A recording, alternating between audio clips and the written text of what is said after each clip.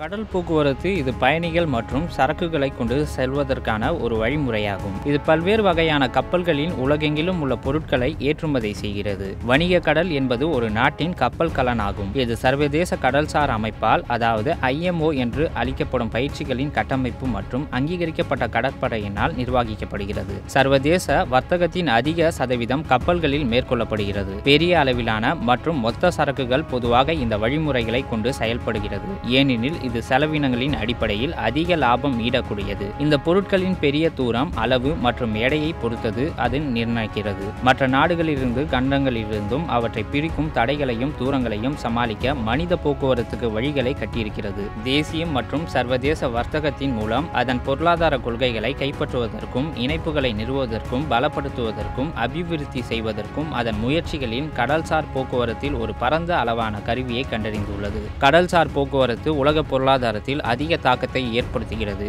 இருப்பினும் அது கொண்டு வரும் பல்வேறு நன்மைகளை கருத்தில் கொண்டு வெளிப்படையாக சமூகம் மற்றும் பொது அங்கீகாரத்தை அது பெற்றுக்கொள்ளவில்லை. நாடுகளின் தொழில்துறை மற்றும் பொருளாதார வளர்ச்சியின் பெரும்பகுதி சர்வதேச வர்த்தகங்களும் அதில் அடங்கும். இது கடல் போக்குவரத்து அதிக சதவீதத்தை சார்ந்துள்ளது. முழு கிரகத்தின் பொருளாதாரத்திற்கு பில்லியன் கணக்கான டாலர்களை பங்களித்துள்ள இந்த பாதை மூலம் உலகின் சமீபத்திய ஆண்டுகளில் மில்லியன் கணக்கான டன்கள் கடத்தப்பட்டுள்ளது. வரலாறு. வரலாறு முழுவதும் மனிதனுக்கு ஒரு இடத்திலிருந்து இன்னொரு இடத்திற்கு செல்ல வேண்டிய அவசியம் ஏற்பட்டுள்ளது. கண்டுபிடிப்புகள் குடியேற்றங்கள் வெற்றிகள் மற்றும் கலாச்சாரம் மற்றும் வணிக பரிமாற்ற முயற்சிகளை மேற்கொள்ள அனுமதித்த ஒரு வழியாக போக்குவரத்து உள்ளது. நிர்ணயித்தல் பிரிக்கப்பட்ட பின்னர் கடலால் ஒன்றுபட்ட பிரதேசங்கள் உள்ளன. கடல் போக்குவரத்தின் முதல் வழிமுறைகளை கிமு மூவாயிரத்தி ஐநூறுக்கும் முந்தையவை. அந்த நேரத்தில் சிறிய சுமைகளையும் சில மாலுமிகளையும் குறுகிய கடலோர பாதையில் கொண்டு செல்ல முடியும். தொழில்நுட்பம் மேம்பட்டதும் மற்ற புதுமையான பொருட்களை பயன்படுத்த தொடங்கியதால் தூரங்கள் பெரிதாகின. வைக்கிங்ஸ் ஆறுகள் மற்றும் கடல்களை கடந்து செல்லக்கூடிய கப்பல்களை கட்டியது. ஸ்காட்லாந்தின் நேவி தீபகற்பத்திலிருந்து இங்கிலாந்திற்கும் மத்திய தரைக்கடலுக்கும் இறுதியாக வட அமெரிக்காவிற்கும் சென்றதும் அவர்கள்தான் என்பதை கவனத்தில் கொள்ள வேண்டும். பின்னர் இந்த சாதனையை ஐரோப்பியர்களும் நிறைவேற்றினர். மிக நீண்ட புவியியல் தூரங்களை கொண்ட கிரகத்தின் பல்வேறு பகுதிகளுக்கு மற்ற பொருள்களையும் மக்களையும் பொருட்களின் மாற்றுவதற்கும் கடல் போக்குவரத்து பல நூற்றாண்டுகளுக்காக ஒரு முக்கிய பங்கை கொண்டுள்ளது. ரோமானியர்களால் உருவாக்கப்பட்ட படகோட்டாங் கப்பல் தான் கடலின் பயணம் செய்த முதல் கப்பலாகும். காற்றினால் செலுத்தப்படும் பிற வகை படகுகளில் அவற்றில் இடம்பெயர்வு திறன்களின் அடிப்படையாக உருவானது. காலி போன்ற பிற கப்பல்கள் பெரிய படகில் கட்டப்பட்டிருந்தன. ஆனால் படகோட்டுதல் கைதிகள் மற்றும் அடிமைகளின் சக்தியால் தான் நகர்த்தப்பட்டது. அவை கடலின் மேற்பரப்பில் செலுத்தப்பட்டது. பின்னர் கேரவால் கப்பல்கள் தோன்றினர். இது மாஸ்டர்களின் நிலைப்பாட்டில் காற்றின் நிகழ்வுகளை மேம்படுத்த முடியும். இந்த வழியில் அவர்கள் சுழற்சி மற்றும் வேகத்தை அடைந்துள்ளனர். பண்டைய காலங்களில் இந்த கப்பல்கள் புதிய உலகத்திற்கும் வெளிநாட்டுக்கு போக்குவரத்திற்கும் பொறுப்பாக இருந்தது. கிறிஸ்டோபர் கொலம்பஸ் மற்றும் உலகெங்கிலும் உள்ள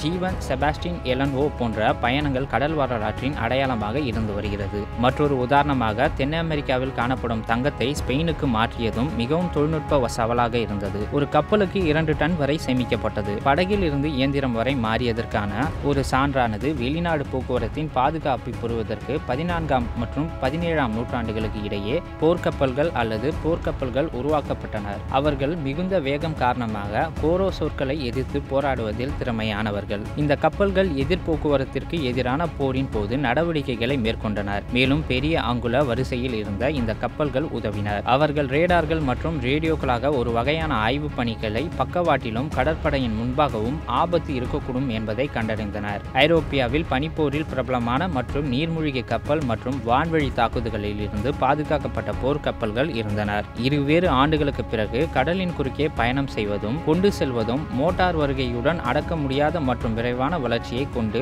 வேகமாக முன்னெடுக்க தொடங்கியது. பெரிய கப்பல்கள் சிறிய கப்பல்கள் உலகளவில் இணைக்கப்படும் கப்பல் வழித்தட மாற்றங்கள் துறைமுக நிலையங்கள் என கட்டுமானங்கள் பிறகு உருவாக்கப்பட்டன. மிக முக்கியமான துறைமுகங்கள் முக்கியமான நான்கு ஆசிய புள்ளிகளில் ஹாங்காங் தைவான் சிங்கப்பூர் மற்றும் தென்கொரியா என்று அழைக்கப்படும் வகையில் அமைக்கப்பட்டது. அவை கடல் வர்த்தகத்தின் மூலம் அதிகாரத்தை பெற்று மேற்கு பொருளாதாரத்தை முந்தியுள்ளது. மேற்கில் லாஸ் ஏஞ்சலஸில் அமைந்துள்ள லாங் பீச் துறைமுகம் தனித்து நிற்கிறது.